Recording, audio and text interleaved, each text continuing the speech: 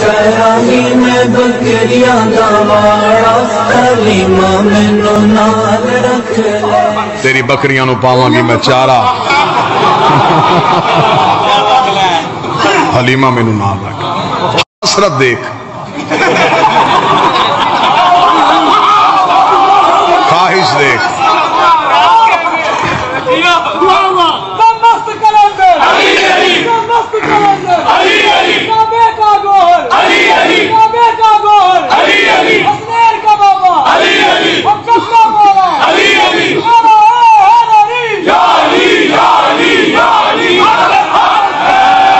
अच्छा मौलवी साहब मेरे ये उसकी बकरियों की नौकरी क्यों करनी है जी?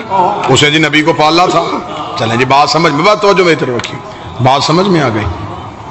अच्छा जो नबी की नौकरी करे, उसकी बकरी की नौकरी मौलवी करने के लिए तैयार।